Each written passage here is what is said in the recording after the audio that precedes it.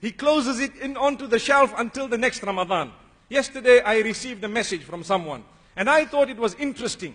They say nowadays you can tell when a person is online when it comes to the social media. So if you look at the WhatsApp, you see online two minutes ago. When you look at the BBM online five minutes ago. When you look at, for example, the Viber online one minute ago. When you look at Skype, they are online right now. When you look at the Quran, they were online last Ramadan. Allahu Akbar.